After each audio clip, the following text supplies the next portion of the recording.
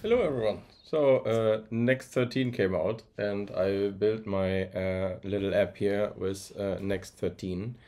And um, the app works like you scan the barcodes and then you can control a game on the screen. And um, yeah, now I want to add some functionality. So I wanted an easy way to um, send transactions. So my plan now is to add the um, Solana mobile, like the Solana wallet adapter. Um, but I had some problems with it yesterday, so I quickly want to show you how it can be done and um, where are the quirks with Next 13. So first of all, I found this nice uh, example here by uh, Jordan. And so what we need to do is first we need to install the packages. So that we do by terminal and then you can either use npm install or you use um, yarn add so I do this. I, I did this earlier already. Um, or actually maybe not. Ah, I'm in the wrong folder. Now that's nice. So now I will have a package in the JSON folder here. But never mind. So you need to do that first. Then you can copy this um, wallet here. So for me, I'm gonna put it into components or maybe just in source. So I call it wallet.tsx and then I put this in here. And then we're gonna just try to put it in the page and see what happens. So let's say for example I want to show it as soon as the game is loaded. So I would just put it here. And as soon as the game state is set I want to add this component. So let's see what happens um, it already says type children has no properties. Okay, so it looks like we need to add children already to it, or maybe not. No, okay, so that like this it works. So now you can see already the first error here, uh, better light SQL is not there. So I found the workaround for that. There's a bug currently. So instead of the unsafe burner wallet here, we want to use, of course, the phantom wallet. Phantom, ah, I can't find yet. So Phantom wallet adapter, but as long uh, as we, if we import it from the adapter wallets, there is this weird problem currently. So I think they're gonna fix it soon, but this is the first change you need to do. And now uh, if we reload this, it says it can't find it, but I changed it already. Okay, so now we have um, wallet here that we can use. Um, and also there are some errors because um, we can't just put this component into our React component here because it needs to hook out. So as you can see here in this wallet, it says here, hey, your apps component need to go here. But um, since we are in, um, in React uh, in Next 13 now, we need to do it a bit differently. So here we have our children in the layout. And now we want to have these children in between our um, wallet connection provider. So how we do that, let me quickly Google that. Uh, I never can remember how it, uh, how it works. Uh, React children props. So I think I've been here earlier already. Um, so how it looks like is like this. So we need the props and then we add the children. So if we go here to our wallet, we add the props here and then we need to add these props here and then we put the children here and then we can just put the children in between here. So I'll remove this and for some reason that doesn't work. I guess this needs to be in brackets. Yeah okay. And now what we can do we can go here to our layout and we can say wallet open.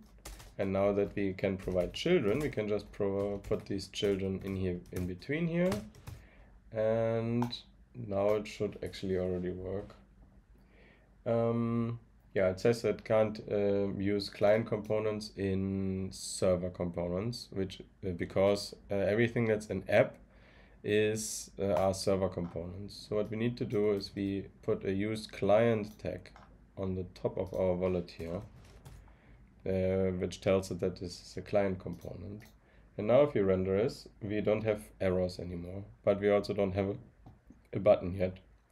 So what we want is here we want this wallet multi button and maybe also the disconnect button. Then we go back to our page and instead of the wallet here, we put in these two buttons. And let's see if my auto completion works. Auto import. No. I think I need to restart um, Visual Studio, but for now let's just take, uh, copy it from here. So now we have it imported and now if we reload our app, we should see another error, apparently. Uh, unexpected token main.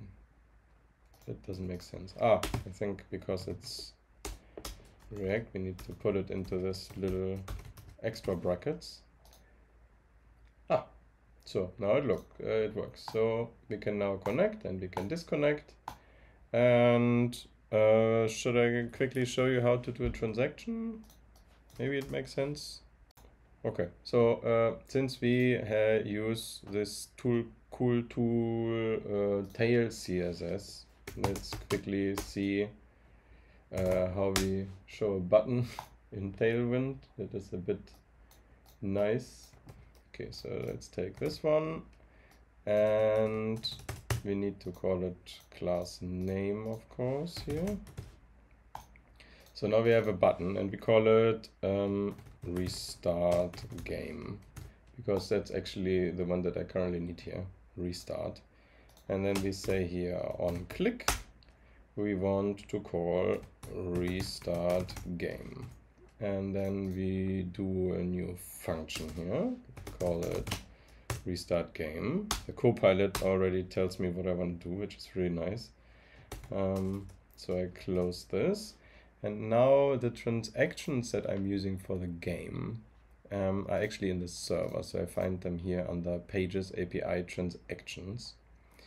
And now I just gonna copy over this transaction and then we're gonna change it so that it does what we want. And I assume this needs to be async. And I hope this works. Okay. So now I have transaction. For fee payer, actually I need the uh, I need the public key. So for that, let's see here in the Solana cookbook for the wallet adapter, how I can get the public key from my wallet adapter. So here we can see we can use connection and we can use the public key from the wallet. So let's put this up here. Now we should have that. For some reason it doesn't use the, it doesn't show me the imports, but I just gonna copy them over. So now I have the public key for the transaction. So we put that here. This all we don't need. We just want the restart instruction. And let me copy that one as well. This comes from here. New transaction instruction. So that one we want to add. All right, this is looking good. So here we need to import the program ID we need to import transaction from web3.js. As a public key for the restart, we need the public key from our Phantom wallet again. And now we don't have the anchor discriminator. So that one we need to copy as well. It's just if you want to call an anchor program, you can either import it uh, as an IDL or you just take the SHA-258 hash from the function name and pass that one in. So I'm gonna use that and then I also need to import that. Sorry if this is a bit boring, but um, maybe someone is interested in how you can do a transaction with wallet adapter. So I'm just gonna continue. So the transaction fee payer cannot be null, so I will check here if uh, the public key is undefined, then we're just gonna return.